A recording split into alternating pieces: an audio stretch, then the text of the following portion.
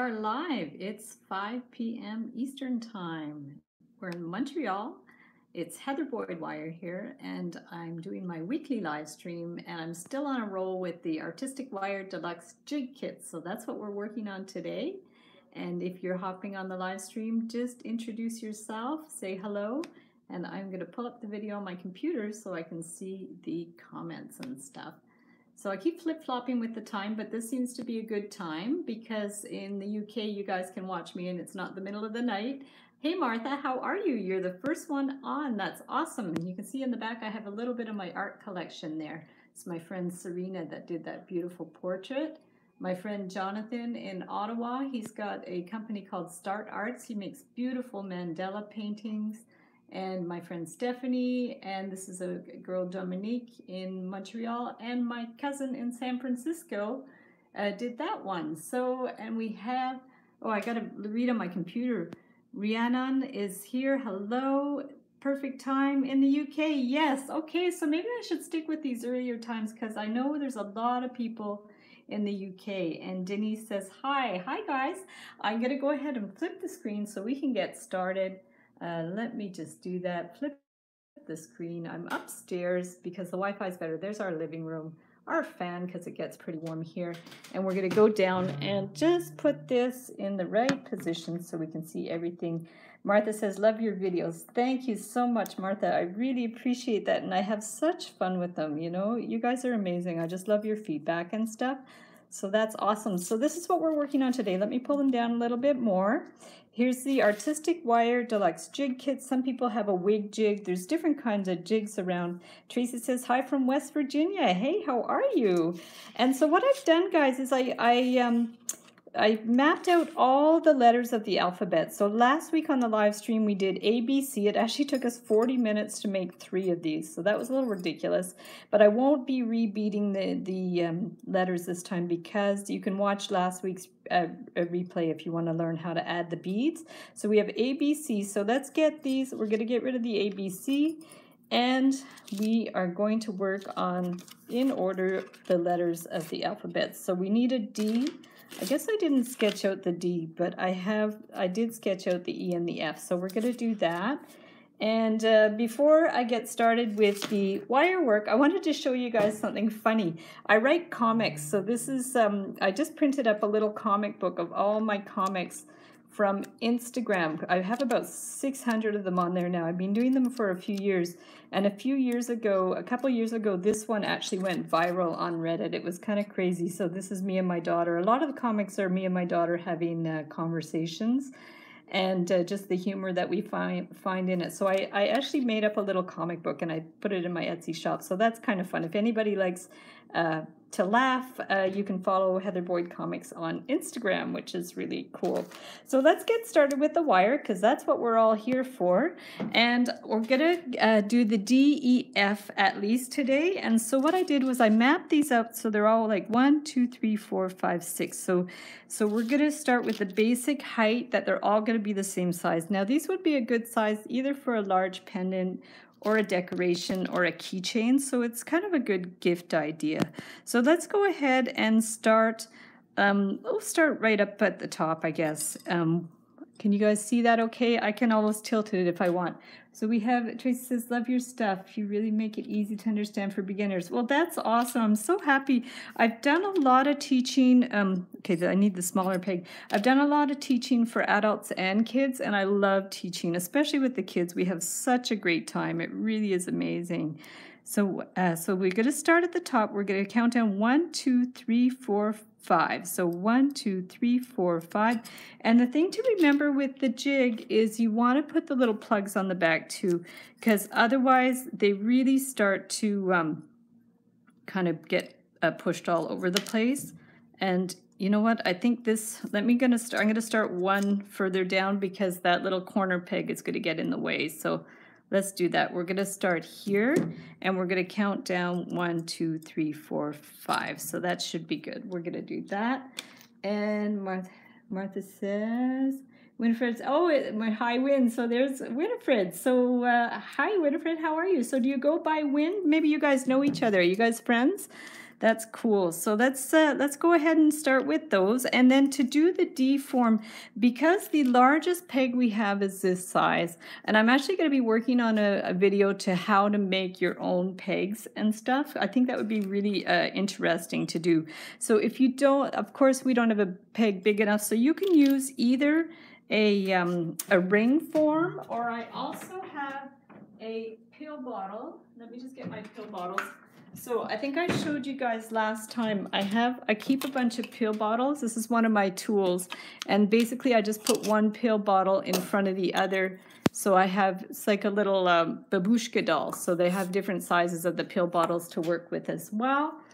So we see Galen is here. Good afternoon. Awesome. Everybody's hopping on. That's fantastic. And let me know where you guys are in the comments. So we're going to start with this kind of setup with the jig. And then I'm going to get some thicker wire. I'm using aluminum wire to play around with the jigs because it really is a lot softer than copper wire. Like it's much easier to work with. And um, it also, the nice thing about aluminum wire, it makes really nice sharp right angles, whereas the copper tends to be a little bit on the soft side. So that's why I like to use the aluminum. So if we just stick this wire here for the D, so Teresa says, I'm in South Carolina. That is so cool. I think I probably was in South Carolina when I was a kid. We actually used to go on camping trips all across the states, and they were a lot of fun with my family. We had four kids, and my parents, all we used to always go in. Um, in the car and we had a trailer so that was that was a lot of fun so this pot pill bottle might be a little bit big so let's try this one. This one also, this one might be a little bit small. So it's hard to get like the happy medium. So let's start with the big one and then we can maybe bend it smaller. And if this is wiggling around here, just bend it a bit so it won't wiggle around so much. And then we're going to put the pill bottle on here. I'm going to bring this a little further down so you guys can see it a little better. And then we're going to bend this one around. Now the thing I'm trying to do with the letters is actually make sort of double wires so we can so you'll have enough to wind the um, the beads around so if we just start with like this kind of curve here it's almost probably almost easier to do this one freehand but let's just go go for it just just to do what we can to do things on the jig now if you find you have to like work it around and the other thing you could do with it with the jigs is if you find the peel bottle isn't working one of the hacks I have is just to kind of rub it with your hand, like rub it with your fingers to, to get it to make that curve shape. So let's go ahead and uh, so Martha says, bye, I'll stream later. Perfect, no worries. Yeah, I have, I totally will not be offended if you guys find these live strings long and you just want to hop on and say hello and then watch the rest later. I have no problem with that whatsoever because I know sometimes these can be really long, especially when I'm kind of troubleshooting new ideas. So what I'm going to do now is take two more pegs and stick them on the inside of these and then we're going to wrap this around. So Teresa says we live on a Beautiful Lake Marion. Oh, wow. I'm hooked on wire jewelry making now. Thank you so much for your work. It's beautiful and you make it so and fun to learn. Thank you so much. I'm so happy. Wow. Aren't you lucky to live on a lake? That is gorgeous. My parents have a cottage actually in Ontario. It's about probably four hours from Montreal. And I usually go up every summer for a bit. Sometimes I bring up my wire and it's just beautiful. And I actually love to bring my watercolor paints too, and I paint the lake, and then I make greeting cards, which are sort of a watercolor background with the wire, uh, little wire kind of figures or or or designs on top. So do you guys see what I've done here? I've done one part of the D and then I've gone on these pegs and done the other part of the D. And so what I'm going to do now is I'll remove it from the jig. I'm going to leave these here so I remember what I did. So you'll see, and let me move this over just so you can see it. So there's the, the D, and then what you want to do is this for this part here, just bend it a little bit so it's going to hold in place, and then bend this up. And then you want to wrap, bring this up here, and then we're going to wrap this around and clip it off. So that's going to be that's going to be the top. And then because you always need some way to hang the letter.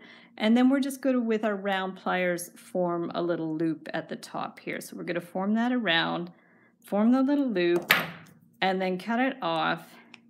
And then we have the D. And you might have to bend it a little bit and see. So the thing about this D is you could leave it like that, but my idea was really you can add beads. So afterwards, with a thinner wire, probably 24 gauge, you can wrap a whole bunch of seed beads around it. But there at least you have your basic shape. So there's the D. Now let's do the E and the F because I think they should be pretty easy and I'll do them, I'll leave those there so I remember what I did with the D, and then I'll just bring this over here, go on the same line, and we'll just put that here. In fact, you know what I'm gonna do first is I'm gonna put plugs on the back of these so they don't come out because I don't wanna lose those. So let's just put some plugs on the back. And Teresa says, I've never been to Canada, would love to visit sometime. The lake is peaceful, wildlife beautiful want to try to make the oh a wire hummingbird. Okay that's a great idea.